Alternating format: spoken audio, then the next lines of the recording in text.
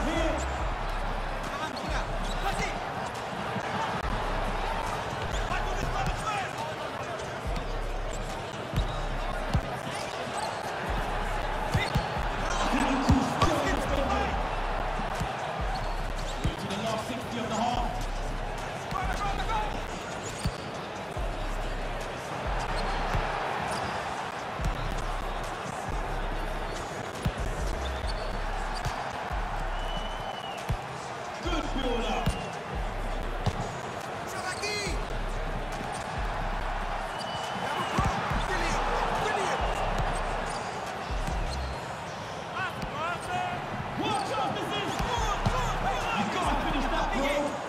Seconds left half time. You can't be doing this to players, man. You should be